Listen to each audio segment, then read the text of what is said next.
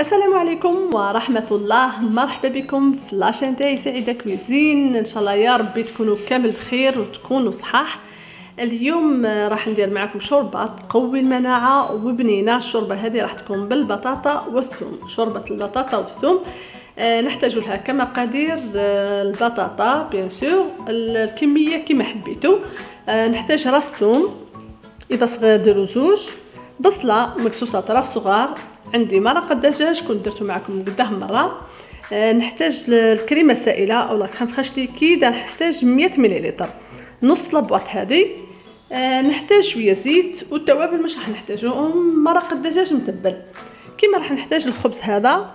من بعد شوفوني واش راح ندير به هذا تقدروا تستغناو عليه. كيما تقدروا تستعملوا الخبز العادي. نبداو البلاط تاعنا مع بعض.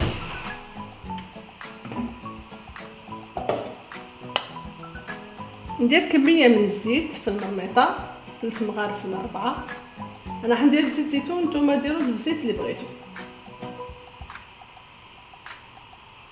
تاع الزيت راح نقلي البصلة. ومن بعد نقص الثوم تاعي طرف صغار ونزيدها.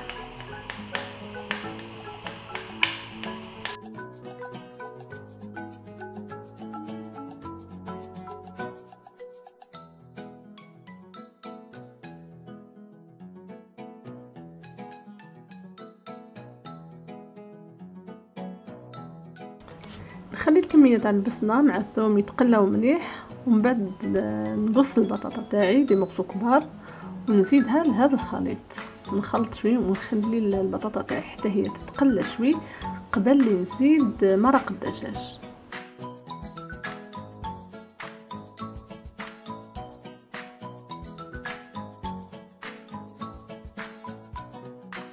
مرق الدجاج هنا يكون سخون تكون سخنتوه من قبل.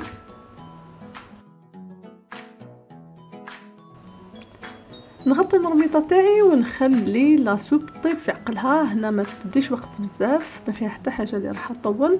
البطاطا اللي هي طيب. مهم بين ربع ساعة حتى عشرين دقيقة. وهنا طلو كون تشوفوها مازال ما طابتش. وشفتوا المرقة بلي اختار تزيدوا لها شوية مرق الدجاج أنا كان كافيني قد قد. آه ما بين المرقة تاعي ما طيب نجيب الخبز تاعي ونحمصو. اللي ما عندهاش هاد الآلة هذه غريبه تدهن الخبز تاعها بشويه زيت زيتون وتحطه في المقله برك وتحمصوه على الجهتين ولا تحطه في الفور يتحمص.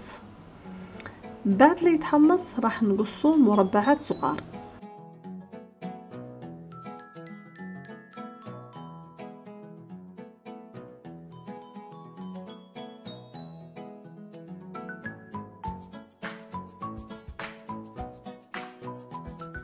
عشرين دقيقة la soupe تاعي طابت.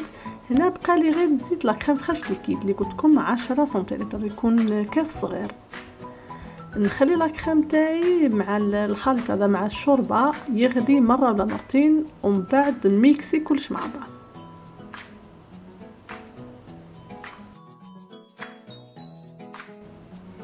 هنا اللي حبت تزيد المعدنوس ولا الدبشة هنا تقدروا تقصوه وتزيدوه في هذه المرحلة أنا ما عنديش ما درتوش. آه voilà هذه هي la soupe تاعي. تجيب بزاف هايلة وما تخافوش من le goût تاع الثوم ما تبانش فيها خلاص بعد لي طيب ما يبانش le goût تاع الثوم خلاص وتجي وقبل نخليكم راح تشوفوا معايا المراحل تاع النمو تاع الدبشة اللي كنت وعدتكم نعتها لكم. كنا زرعناها مع بعض هذه تقريبا 13 يوم وكنت وعدتكم نعتها لكم كي تبدأ تنبت والمراحل تاع النمو تاعها. voilà هذه هي الدبشة تاعي. وهنا كنت زرعت ثاني شوي سلطه كانت عندي soupière قديمه زرعت فيها كما راكم تشوفوا كيف تطلع ودرت ثاني الزريعه تاع الكابويا أو la citrouille. هنا هذه كبرت بقى لي غير نقلها في الأرض. نستنى برك شوية يامات في أبريل هذا وننقلها إن شاء الله. آه، نشوفكم في فيديو جاي بإذن الله ونعتلكم المراحل تاع النمو تاع هذه النباتات